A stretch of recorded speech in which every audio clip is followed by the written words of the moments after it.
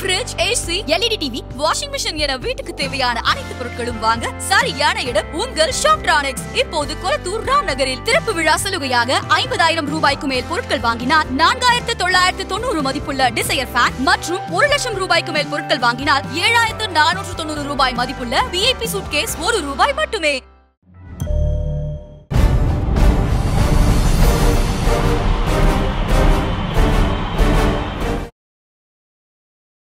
தமிழின் number one அரசியல் YouTube சேனலான ஆதன் தமிழர்களுக்கு அன்பு வணக்கங்கள். இன்று நம்முடைய ஆதன் தமிழின் கொடிப்பறக்குது நிகழ்ச்சியில் நம்மோடு இணைந்திருக்கிறார் அரசியல் திறனாய்வாளர் பத்திரிகையாளர் மதிப்பிற்குரிய திரு துரை கருணா அவர்கள்.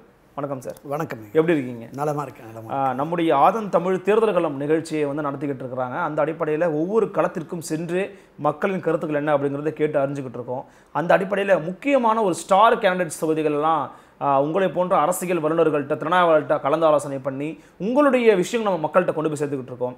அந்த அடிப்படையில் முக்கியமான தொகுதிகளை நம்ம வரிசையாக பார்க்கலான்னு இருக்கோம். இப்போது நாம முதல்ல நான் உங்கள்கிட்ட கேட்க விரும்புகிற தொகுதியும் வந்து பார்த்தீங்கன்னா கோயம்புத்தூர் மாவட்டத்தில் இருக்கக்கூடிய பொல்லா சட்டமன்ற தொகுதி தான். இந்த பொல்லா சட்டமன்ற தொகுதியில் அதிமுக சார்பாக இந்த முறை வந்து திரு ஜெயராமன் அவர்கள் பொல்லா ஜெயராமன் அவர்கள் நிற்கிறாங்க அமமுக சார்பாக பொள்ளாச்சியில் வந்து பார்த்தீங்கன்னா கே. சுகுமார் அவர் வந்து எக்ஸ் எம்பி உங்களுக்கே தெரிஞ்சிருக்கும்.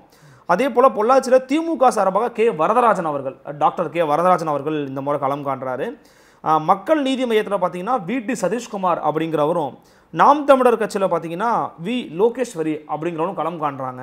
ஸோ ஒரு ஐந்து முனை போட்டி பொள்ளாச்சி தொகுதி அதனுடைய சூடு எப்படி இருக்குங்க ஐயா?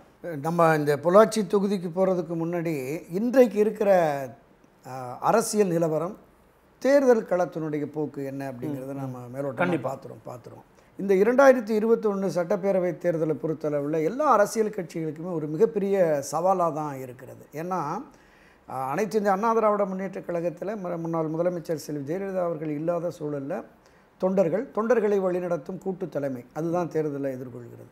திராவிட முன்னேற்றக் கழகத்தை பொறுத்தளவில் அதனுடைய தலைவர் மரியாதைக்குரிய திரு கருணாநிதி அவர்கள் மறைவுக்கு பிறகு திரு ஸ்டாலின் அவர்கள் தலைமை பொறுப்பேற்று இந்த தேர்தலை எதிர்கொள்கிறார். இப்போ இவங்க பத்தாண்டுகள் ஆட்சியில் இல்லாத திராவிட முன்னேற்றக் கழகம் எப்படியாவது ஆட்சிக்கு வந்துவிட வேண்டும் என்கிற நோக்கத்தில் தான் வழக்கத்துக்கு மாறாக ஒரு நான்கு மாதங்களுக்கு முன்பே தேர்தல் பிரச்சார பயணத்தை தொடங்கிட்டாங்க. வழக்கமாக எந்த ஒரு தேர்தலாக இருந்தாலும் தேர்தல் ஆணையம் தேதியை அறிவித்த பிறகு தங்களோடு தோழமை கொண்டிருக்கிற அரசியல் கட்சிகளை அழைத்து பேசி கூட்டணிகளை உறுதிப்படுத்தி எந்தெந்த கட்சிக்கு எத்தனை தொகுதிகள் எந்தெந்த தொகுதிகள் என்பதையெல்லாம் முடிச்சுட்டு அந்த ஒப்பந்தம் கையெழுத்தானதுக்கு பிறகு தான் பிரச்சாரத்தையே தொடங்குவாங்க. ஏன்னா கூட்டணி கட்சியினுடைய வேட்பாளர்கள் யார் வேட்பாளர் என்ன சின்னங்கிறதையும் அவங்க சொல்லி ஆகணும். திமுகவினுடைய தலைவர் சொல்லி ஆகணும். ஆனால் அந்த நிலை இப்போ இல்லை. நான்கு மாதத்துக்கு முன்னே ஆட்சி மாற்றம் இந்த ஆட்சி மீது மக்களுக்கு அதிருப்தி இருக்குங்கிற மாதிரி அவர் எடுத்துட்டார். அனைத்து இந்திய அண்ணா திராவிட முன்னேற்ற கழகமுமே அவரும் மரியாதைக்குரிய முதலமைச்சர் எடப்பாடி பழனிசாமி ஒரு மூன்று மாதங்களுக்கு முன்பே தேர்தல் பிரச்சாரத்தை தொடங்கிட்டார். அவங்க என்னென்னா இந்த நீட்சியாக ரெண்டாயிரத்தி பதினொன்று ரெண்டாயிரத்தி பதினாறு இதனுடைய நீட்சியாக ரெண்டாயிரத்தி இருபத்தி ஒன்றிலும் ஒரு ஆட்சிக்கு வெற்றியை பெறணும். எப்படி அண்ணா திராவிட முன்னேற்ற கழகத்தின் நிறுவனத் தலைவர் திரு எம்ஜிஆர் அவர்கள் ஆயிரத்தி தொள்ளாயிரத்தி எழுபத்தி ஏழு எண்பது எண்பத்தி நாலு. ஒரு தொடர் வெற்றி தொடர் மூன்று வெற்றிகள் தொடர்ந்து. அதே போன்ற ஒரு வெற்றியை பெறணும் அப்படின்னு அவங்களும் இப்போ களத்தில் இறங்கிட்டாங்க. இப்போ மக்கள் மத்தியில் திராவிட முன்னேற்ற கழக அணியா அண்ணா திராவிட முன்னேற்ற கழக அணியா இதுதான் இப்போ பிரதான போட்டியாக களத்தில் இருக்கிறது. அடுத்ததாக வருகிற மற்ற மூன்று அணிகள் நீங்கள் குறிப்பிட்டது மாதிரி அமமுக அணியோ க கமல்ஹாசனுடைய அணியோ சீமான் தனித்து போட்டி என்பதோ ரெண்டு சதவீதம் மூணு சதவீதம் அங்கே அங்கே வாக்குகளை பிரிக்கலாம். ஆனால் வெற்றி தோல்வியை தீர்மானித்து ஆட்சியை பிடிக்கக்கூடிய வலிமை என்பது திராவிட முன்னேற்ற கழக கூட்டணிக்கு அனைத்து இந்திய அண்ணா திராவிட முன்னேற்ற கழக கூட்டணிக்கு தான் இருக்கு. இப்போ இதை மக்கள் எப்படி பார்ப்பாங்க? அப்படிங்கிறத நம்ம பொள்ளாச்சியில இருந்தே தொடங்கி கண்டிப்பா. இப்போ பொள்ளாச்சி சட்டமன்ற தொகுதியில் ஆயிரத்தி தொள்ளாயிரத்தி எழுபத்தி ஏழு அண்ணா திராவிட முன்னேற்ற கழகம் தொடங்கியதற்கு பிறகு நடைபெற்ற இந்த ரெண்டாயிரத்தி பதினாறு தேர்தல் வரையுமே ஏறத்தாழ ஒன்பது முறை அங்கே அண்ணா திராவிட முன்னேற்றம் வெற்றி பெற்றிருக்குது இப்போது களத்தில் இருக்கிற சட்டப்பேரவையினுடைய துணைத் தலைவர் பொள்ளாச்சி ஜெயராமன் அவர்கள் வந்து அவரே மூன்று முறை அங்கே வெற்றி பெற்றிருக்கார். ஒரு முறை உடுமலைப்பேட்டை தொகுதியில் போட்டியிட்டு வெற்றி இருக்கிறார். அவர் ஆயிரத்தி தொள்ளாயிரத்தி எழுபத்தி ரெண்டில் அண்ணா திராவிட முன்னேற்ற கழகம் தொடங்கிய அந்த ஆரம்ப நிலையிலிருந்தே கோவை புறநகர் மாவட்டத்தினுடைய எம்ஜிஆர் மன்ற செயலாளராக இருந்து களப்பணியாற்றியவர். அந்த மாவட்ட மக்கள் இன்றைக்கு இருக்கிற கோவை திருப்பூர் அந்த பகுதி மக்களுக்கும் அந்த தொகுதி மக்களுக்கும் பரிச்சயமானவர் அறிமுகமானவர் அமைச்சராக இருந்து பணியாற்றி இருக்கிறார் பல செயல்களை அவர்கள் செய்திருக்கிறார்கள். எனவே இந்த அடிப்படையில் பார்க்குற பொழுது அந்த மக்களினுடைய முடிவு எப்படி இருக்கும் அப்படின்னு பார்த்தீங்கன்னா மீண்டும் ஆட்சி கட்சியாக அதிமுக வருவதற்கான வாய்ப்பு இருக்குது அப்படிங்கிற மனநிலை மக்கள் மத்தியில் இருக்கிறது. இந்த ஆட்சி கட்சி மீதான அதிருப்தி என்பது பெரிய அளவில் இல்லை. பொள்ளாச்சி மக்கள் மத்தியில வேற ஏதேனும் சிக்கல்கள் இருக்குமா. அந்த விஷயம் தாக்கத்தை ஏற்படுத்தும்? இதுதான் ஆமாம் பொள்ளாச்சி தொகுதியை பொறுத்தளவில் அந்த பொள்ளாச்சி நகரம் என்ற உடனே அங்கே நடந்த அந்த பாலியல் குற்றச்சாட்டுகள் அது தொடர்பான விஷயம்தான் மிகப்பெரிய அளவில் ஒரு பரபரப்பாக ஊடகங்கள்லையும் இணையதளங்கள்லையும் மற்ற எல்லா பகுதிகளிலுமே பரவலாக. பேசப்பட்டது. அது தொடர்பான சட்ட ரீதியான நடவடிக்கைகளை அரசு எடுத்திருக்கிறது. மரியாதைக்குரிய பொள்ளாச்சி ஜெயராமன் அவர்கள் அவர்களுடைய மகன் மேலே எல்லாம் ஒரு கடுமையான குற்றச்சாட்டு வந்தபோது அவர் பொது வெளிகளில் சவால் விட்டார். அப்படி நீங்கள் நிரூபிச்சீங்கன்னா நான் அரசியல் பொது வாழ்விலிருந்தே விலகிடுறேன் அப்படின்னு. அந்த கட்சியை சார்ந்த ஒரு சிலர் அதில் இருந்தாங்கிறது நம்ம அவங்க நடவடிக்கை எடுத்ததுலேருந்தே பார்த்தோம். ஓகே. இப்போ அது வந்து தேர்தலில் பெரிய தாக்கத்தை ஏற்படுத்துமா அப்படிங்கிறத நீங்கள் மக்கள் வந்து ஒரு ஆட்சி ஆட்சி மாற்றம் இந்த ஆட்சியில் இவரும் இடம்பெற்ற அமைச்சராக முக்கிய பொறுப்புகள் இருப்பார். தொகுதிக்கு நல்லது நடக்கும் அப்படிங்கிற பார்வை தான் இருக்கும். இந்த தனிமனித தாக்குதல் தனிமனித மேலே உள்ள அந்த. குற்ற பின்னணி. இதுவெல்லாங்க ஒரு பெரிய தாக்கத்தை ஏற்படுத்தாது அப்படின்னு தான் இல்ல இப்ப பொள்ளாச்சி மக்கள் வந்து எடப்பாடி பழனிசாமி அவர்களை முகமா வச்சு வாக்களிப்பாங்களா? இல்ல பொள்ளாச்சி ஜெயராமனே களத்துல மக்களுக்கு ரொம்ப நெருக்கமான அணுக்கமான நபர் தானா? இல்லை இப்போ இந்த தேர்தலை பொறுத்தளவில் அண்ணா திராவிட முன்னேற்ற கழகம் என்கிற அரசியல் கட்சி அந்த கட்சியினுடைய இரட்டை இலை சின்னம் அதனுடைய வெற்றி தான் பிரதானமாக பார்ப்பாங்க. மரியாதைக்குரிய எடப்பாடி பழனிசாமி அவர்கள் ஆட்சியில் நான்கு ஆண்டுகள் அவர் மக்கள் மத்தியில் நல்ல விஷயங்கள்லாம் எடுத்துகிட்டு போயிருக்காரு. அது ஓரளவுக்கு வரவேற்பை பெற்றிருக்கு என்பது ஒரு ப்ளஸ் தான். ஆனால் பொதுமக்களும் கட்சியினரும் அண்ணா திராவிட முன்னேற்ற கழகத்தினுடைய ஆதரவாளர்கள் அனுதாபிகளும் அதிமுக மீண்டும் வெற்றி பெற வேண்டும். இந்த இரட்டை இலை சின்னம் தோற்றுவிடக்கூடாது என்கிற மனோபாவம் தான் அந்த அந்த மக்கள்கிட்ட இருக்கும். அதன் பிறகு தான் லோக்கல் செல்வாக்கு திரு பொள்ளாச்சி ஜெயராமனுக்கும் முதலமைச்சருக்குமான இவர்கள் ஆட்சியில் வருகிற பொழுது இந்த பத்தாண்டுகள் ஓரளவுக்கு நன்மையான விஷயங்கள் நடந்திருக்கிறது. இது நீட்டித்து நமக்கு ஆதாயங்கள் வர வேண்டும். இந்த தொகுதி இந்த மாவட்டம் ஒரு நல்ல நிலைக்கு வருவதற்கு பல்வேறு விஷயங்களை சட்டமன்றத்தில் எடுத்து பேசியிருக்கிறார். இப்போ கடைசியாக கூட அந்த பொள்ளாச்சியை தலைநகரமாக கொண்டு ஒரு மாவட்டத்தை உருவாக்க வேண்டும் என்கிற கோரிக்கையை சொல்லியிருக்கிறாரு. பல ஆயிரக்கணக்கான கோடி ரூபாய் திட்டங்களை நிறைவேற்றினதை பட்டியல் போட்டிருக்கிறார். என்னென்ன திட்டங்கள் எல்லாம் இந்த நான்கரை ஆண்டுகளில் அதற்கு முந்தைய செல்வி ஜெயலலிதா ஆட்சி காலத்தில் நடந்த அந்த பத்து இந்த பத்தாண்டுகள் என்னென்னவெல்லாம் பட்டியல் போட்டிருக்கிறாரு? இந்த விஷயங்களை மக்கள்கிட்ட பொள்ளாச்சி தொகுதி மக்களிடம் கொண்டு சேர்க்கிற பொழுது நிச்சயமாக அவருக்கு வாய்ப்பு இருக்கிறது. திராவிட முன்னேற்ற கழகத்தை பொறுத்தவரையில் அந்த வேட்பாளருமே local டாக்டர் கே. வரதராஜன். அவர் கொஞ்சம். பிரபலமான டாக்டர் ஆமாம் பிரபலமான. டாக்டர் அந்த மக்கள் மத்தியில் ஓரளவுக்கு அறிமுகமானவர் அதில் எந்த மாற்று கருத்தும் இல்லை. திராவிட முன்னேற்ற கழகத்தினுடைய அந்த கட்சியினர் அந்த கட்சியை ஆதரிக்கிற கூட்டணி கட்சியினர் அவர்களுடைய வாக்குகள்லாம் ஒரு சேர அங்கே போகும். ஏன்னா முக்கியமா போன ரெண்டாயிரத்தி பதினாறாம் ஆண்டு தேர்தலில் கூட பாத்தீங்கன்னா கொங்கு மக்கள் தேசிய கட்சி இடத்துல ஏழாயிரம் வாக்குகளுக்கு மேல பெற்றிருந்தாங்க. இந்த முறை அவங்க கூட்டணியில் தான் இருக்கிறாங்க. திமுக கூட்டணியில். அது இன்னும் அவங்களுக்கு பலமா?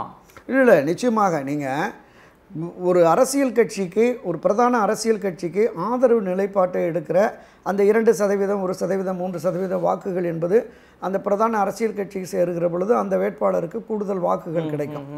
இப்போ இன்னும் அடுத்த நிலைக்கு வருவோம். மக்கள் நீதி மையம் அமமுக. இது எந்த அளவுக்கு வாக்குகளை பிரிக்கும் அப்படின்னு நம்ம பார்த்தோம்னா இவர்கள் ஒரு ஆட்சி மாற்றத்தை கொண்டு வர வேண்டும் அப்படிங்கிறத முன்னெடுக்கிறாங்க.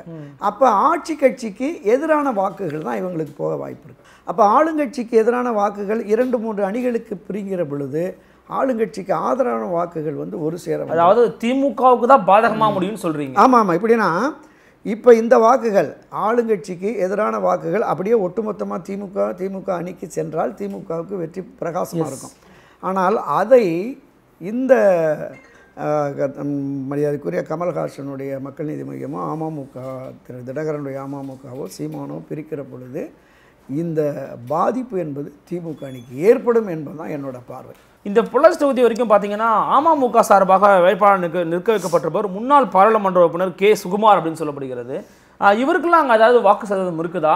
இவங்களால ஓட்டு பிரிக்க மட்டும்தான் முடியுமா?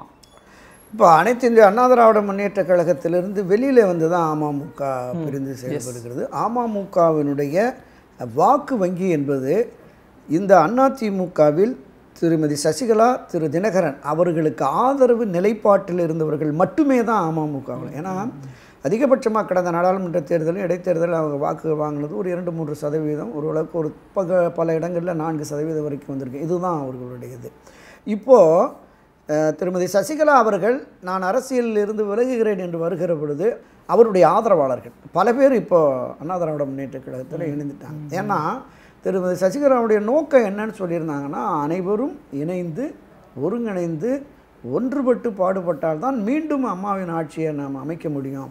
ரொம்ப குறிப்பா நம்ம ஒற்றை எதிரி திமுகங்கிறத அது குறிப்பிட்டு அதை பேசியிருந்தாங்க. சொன்னாங்க. பிரதான எதிரியாக திமுக அப்படின்னு சொல்லிட்டதுனால ஆக பிரதான எதிரியை வரவிடக்கூடாது என்கிற முடிவை அமமுகவினர் எடுத்தால் கூட ஒட்டுமொத்தமாக அவருக்கு அந்த வாக்கு போகிறதுக்கு வாய்ப்பு குறைவு. பல பேர் இரட்டை இலை சின்னத்திலே போடுவோம் ஏன்னா மீண்டும் அம்மாவின் ஆட்சிங்கிறதான நம்ம நோக்கம் எண்ணம். அதனால் இந்த வாக்கை சிதற விடாமல் செய்வோம் அப்படிங்கிற மனநிலையில் இருப்பாங்க. அவருக்கு அமமுகவினுடைய வேட்பாளருக்கு உள்ள அந்த தனித்த செல்வாக்கு அமமுகவினுடைய தலைவர் தினகரனுடைய பிரச்சாரம் இவை ஓரளவுக்கு வரும். அது கூட குறிப்பாக கொங்கு மண்டலத்தில் ஒரு இரண்டு சதவீதத்துக்கு மூன்று சதவீதத்துக்கு மேலே வர்றதுக்கான வாய்ப்பே இல்லைன்னு தான் பார்க்குறேன். தென் மாவட்டம் மத்திய மாவட்டங்களில் ஓரளவுக்கு வரலாம். ஆனால் இங்கு அதற்கான வாய்ப்பு குறைவு. அதே மாதிரி நாம் தமிழர் சீமான் அவர்களுக்கும் கூட ஒரு இளையவர்கள் ஒரு இந்த தமிழ் தேசியம் உணர்வு உள்ள இளைஞர்கள் அவங்க தான் அவர்களுக்கு வாக்காளர்கள். வாக்காளர்கள் இருப்பாங்க. இப்போ அவங்களுமே இது ஆட்சி மாற்றத்தை இப்போதைக்கு கொண்டு வர முடியாதுங்கிற போது அந்த வாக்கு வீணாகி விடுமோ அப்படிங்கிற எண்ணம் உணர்வு வந்ததுன்னா யாரை அவர்கள் ஆட்சிக்கு வர வேண்டும் என்று கருதுகிறார்களோ அவர்களுக்கு வாக்களிப்பதற்கும் இருக்குது ஸோ இந்த வகையில் நம்ம கூட்டி கழித்து பார்த்தோம் அப்படின்னு சொன்னால் திரு பொள்ளாச்சி ஜெயராமனுக்கான வெற்றி வாய்ப்பு என்பது ஓரளவு அங்கே கூடுதலாக கணிசமாக. கூடுதலாக இருப்பதாகத்தான் நான் பார்க்குறேன். கூடுதல் இன்னொரு விஷயமும் நான் உள்ள கேட்கணும்னு நினைச்சேன். சமூக ரீதியான வாக்குகள் அடிப்படையில் பார்க்கும்போது அவர் வந்து ஒரு செட்டியார் சமூகத்தை சேர்ந்தவங்க. ஆனா அங்க இருக்கக்கூடிய அஹ், கவுண்டர்களுடைய வாக்குகள் முழுமையா போய் சேருமா அப்படிங்கறது கேள்விக்குறிங்கிறாங்க. நீங்க எப்படி பாக்குறீங்க இல்லை அண்ணா திராவிட முன்னேற்ற கழகத்தை பொறுத்தளவில் சமுதாயம் ஜாதி மதம் இது பார்த்து வாக்களிக்கிறது காலங்காலமாகவே இல்லை. மிக மிக குறைவான வாக்கு சதவீதம் உள்ள பகுதிகளில் கூட மாற்று வேட்பாளர்களை களத்தில் இறக்கி இப்போ அவங்க வெற்றி பெற்றிருக்கிறார்கள். உதாரணத்திற்கு இஸ்லாமிய சமுதாயம் மிக அதிகமாக உள்ள வாணியம்பாடியில் கூட சக்திவேல்னு ஒருத்தரை இந்துவை போட்டு வெற்றி பெற்று வந்தாங்க அதே மாதிரி திருச்சி பொது தொகுதி நாடாளுமன்ற பொது தொகுதி. அங்கே தலித் எழில்மலைன்னு ஒரு தலித் வேட்பாளரை போட்டு வெற்றி பெற்ற வரலாறுலாம். உண்டு. இப்போ இன்றைக்கும் கூட அந்த கேடி ராஜேந்திர பாலாஜி ஒரு அந்த நகை செய்கிற விஸ்வகர்மாவை சேர்ந்த மிக மிக குறைந்த சமுதாயத்தை உள்ளவர் தான். அவர் அங்கே போட்டியிட்டு நாடார்கள் க- பிரம்மக்கல்லர்கள் முக்குளத்தோர் அதிகமாக வசிக்கிற தொகுதியில் போட்டு ரெண்டு முறை வெற்றி பெற்று வந்திருக்கிறார். எனவே அண்ணா திராவிட முன்னேற்ற கழகத்தை பொறுத்தளவில் அந்த சமுதாய பார்வை பெரிய பாதகமாக அதை பார்க்க மாட்டாங்க. கட்சி முக்கியம் வேட்பாளர் முக்கியம் அவருடைய செயல்பாடுகள் மக்கள் மத்தியில் அவருடைய அணுகுமுறை இதுதான் வெற்றி தோல்வி ஓகே ஆனா இந்த இரண்டாயிரத்தி பத்தொன்பதாம் ஆண்டு நாடாளுமன்ற தேர்தலில் பார்த்தீங்கன்னா கோயம்புத்தூர்ல சிபிஐ கம்யூனிஸ்டுகளுடைய வாக்குகள் தான் அதிகமாக அவங்க தான் வெற்றி பெற்றாங்க. நடராஜன் மட்டும் வெற்றி பெற்றாங்க. அது ஏதாச்சும் பிரதிபலிக்குமா? இல்ல அது அதோட ஸ்டாப் ஆயிருமா? இல்லை இல்லை.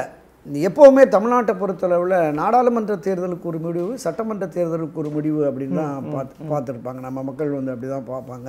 நாடாளுமன்ற தேர்தல் என்று வருகிற பொழுது மோடி எதிர்ப்பெல்லாம் கடுமையாக இருந்தது. ஏன்னா நீங்கள் ரெண்டாயிரத்தி பதினாலு நாடாளுமன்ற தேர்தல்லையே நீங்கள் இந்திய அரசியலில் எந்த ஒரு மாநில கட்சியும் அப்படி தனித்து முப்பத்தொம்போது இடங்களில் போட்டியிட்டு முப்பத்தி ஏழு இடங்களில் வெற்றி பெற்ற வரலாறே இல்லை. ஆனால் செல்வி ஜெயலலிதா அவர்கள் மோடியா லேடியான்னு சவால் விட்டு அவங்க அந்த முப்பத்தி ஒன்பது தொகுதியில் போட்டுட்டு முப்பத்தி ஏழு இடங்களில் ஒரு மகத்தான வெற்றி. அதே நிலை தான் அடுத்து ரெண்டாயிரத்தி பத்தொன்பதில் இப்போ திமுக கூட்டணிக்கு தான் கிடைச்சது. அது தனித்து அண்ணா திமுக கிடைச்சது? இது திமுக கூட்டணி. காங்கிரஸ் உட்பட கம்யூனிஸ்ட் கூட்டணி. உட்பட எல்லாம் கிடைச்சது. ஆக அந்த மோடிக்கு எதிரான அலை என்பது தமிழ்நாட்டில் அதிகமாக இருந்ததால். இப்போ நடைபெற போகிறது சட்டமன்ற தேர்தல். இந்த சட்டமன்றத்தில் தமிழகத்தை ஆள வேண்டியது யார்? யாரால் ஆள முடியும்? யார் சிறப்பான ஆட்சியை கொடுப்பார்கள்? என்கிற எண்ணமும் உணர்வும் இருப்பதால நாடாளுமன்ற தேர்தல் முடிவு இதில் எதிரொலிக்கவே எதிரொலிக்காது. எதிரொலிக்காது. நிச்சயமா. இந்த பொள்ளாச்சி தொகுதியை பொறுத்த வரைக்கும் Jayaraman versus K Varadarajan K Varadarajan. Fight அதுதான் நேரடி போட்டி. அதில் இவருக்கு வெற்றி வாய்ப்பு கூடுதலாக இருக்கிறதா தான் நான் பார்க்குறேன். நிச்சயமா சார். பொறுத்திருந்து பார்க்கலாம். அடுத்தடுத்து நம்ம இன்னும் முக்கியமான ஸ்டாக் கேண்டிடேட்ஸோட தொகுதிகள் கலந்து ஆலோசனை அலசல் பண்ண போறோம். இந்த நேரத்தில் எங்களோட வந்து உங்களோட வருகையும் கருத்து பரிசோதனைக்கு மிக்க நன்றி நன்றி நன்றி. நன்றி நண்பர்களே மீண்டும் ஒரு கொடி பறக்குது நிகழ்ச்சியில். மற்றும் ஒரு சிறப்பு தலைப்பில் இன்னொரு சிறப்பு ஆழ்வன் சந்திக்கிறேன். அதுவரை உடம்பு விடைபெறுவது உங்கள் அருள்மொழிவர்மன் இணைந்திருங்கள். இது உங்கள் ஆதன் தமிழ்.